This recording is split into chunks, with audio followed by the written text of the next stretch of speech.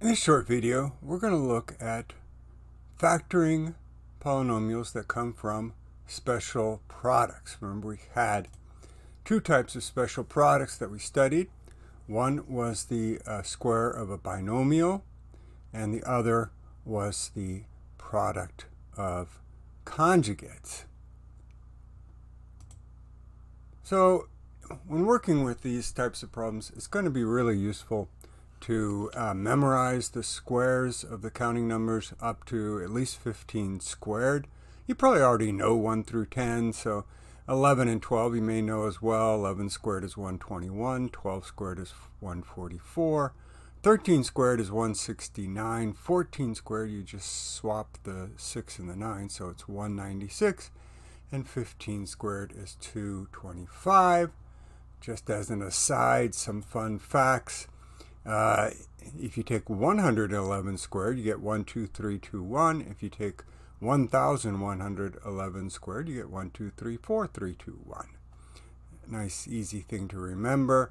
And then if 12 squared is 144, another one easy to remember is that 21 squared is 441. You, have reversed the digits in what you're squaring, and then you've reversed the digits in the answer. All right, so let's get into some factoring. Here I have a trinomial, and what do I know which will make me think that this could be possibly the square of a binomial? Well, first of all, there's some pretty big numbers. And uh, so 144, there's 120, and the first term so the squared term or the quadratic term is a perfect square and the constant term is a perfect square. Now you may be wondering why did I put negative 5 here for the square of the constant term? It's because I see that there's a negative 120 and so that would tell me that the uh, second term, if I'm squaring the binomial, should be a negative term, so negative 5. Now, we can't just automatically conclude that this is the square of a binomial. We have to check that linear term, the middle term. Remember, it should be twice the product of both terms, so twice the product of 12m and negative 5. So let's check that. If I take twice 12m times negative 5, I get, well, 2 times negative 60m, which is negative 120m. And that's what I have in my original polynomial. So this is the square of a binomial. And the terms inside the binomial are 12m and negative 5. Now here it's e easier to see if you have a polynomial which might be the product of conjugates. Again, you have big numbers. You don't always have big numbers. Um, but there's only two terms. That's a big clue.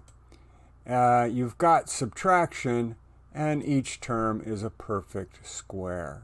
So if you have the difference of two squares, uh, then it is the product of conjugates. So let's go ahead and factor that out.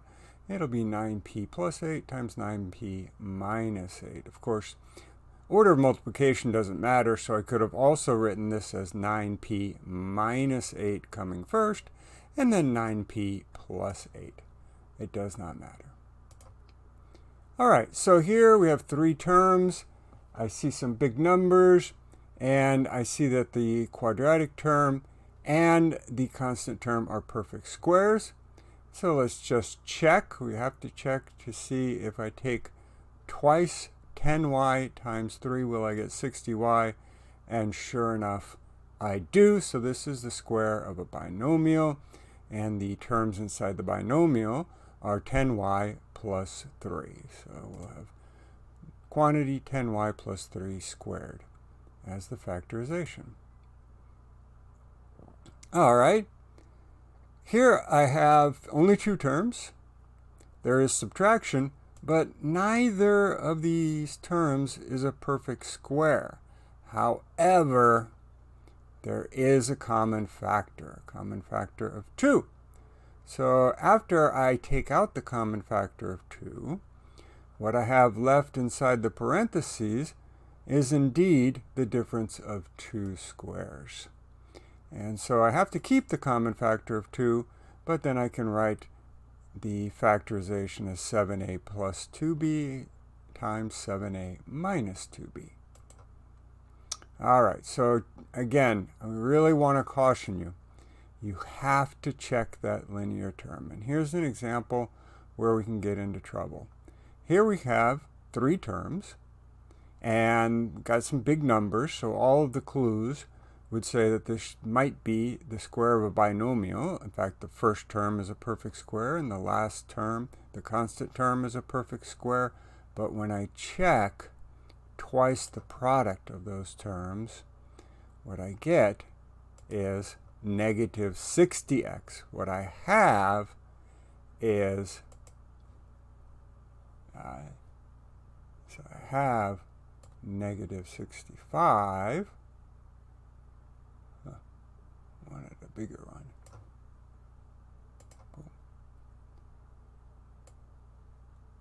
Oops. That was not what I wanted.